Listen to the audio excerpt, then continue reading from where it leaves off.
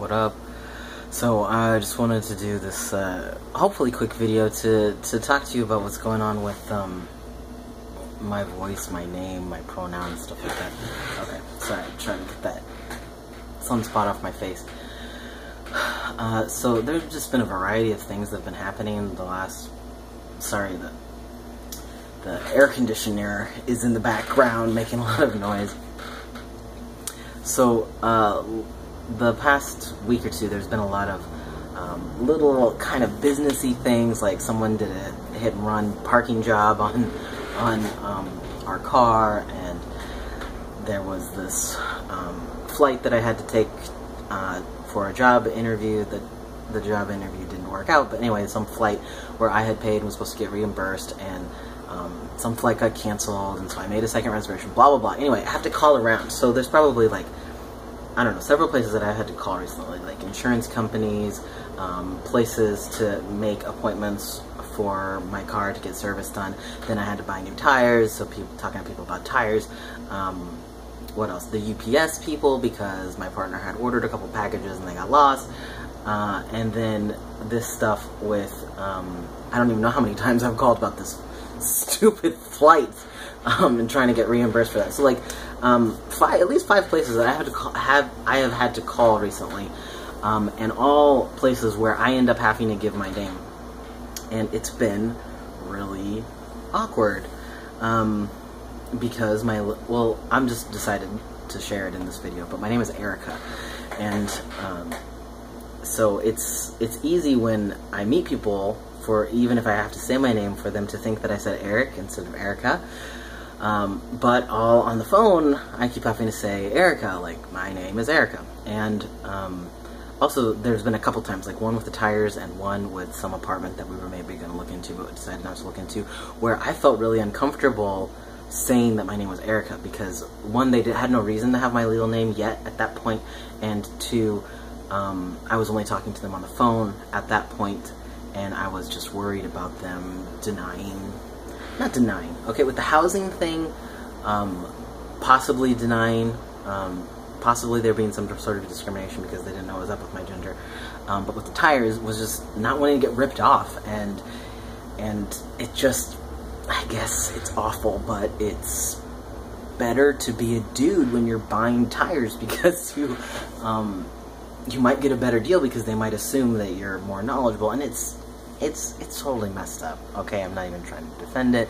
And yes, if it, would just be great to just go in there and be like, no, I'm female, and like you deal with it, and you like give me stuff uh, at a good deal no matter what. But you know, feel in a precarious position because of you know not wanting to spend too much money and just being worried and all that kind of stuff. So end up you know playing by the stupid rules and hoping to get better deals or whatever. So um, I don't know, felt kind of weird.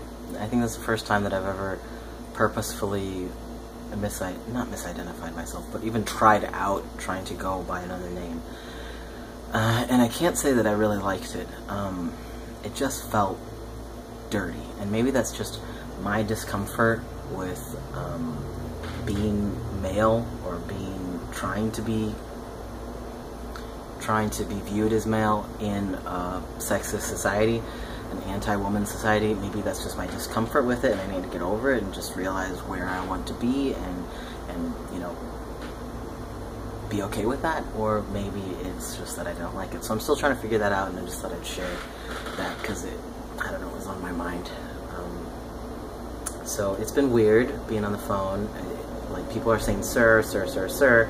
Like even just now, the person that I talked to, they said sir, and then they're like, okay, so for Miss Erica um, blah, blah, blah, blah, blah, and it just felt, uh, felt gross. Oh, and I called my bank.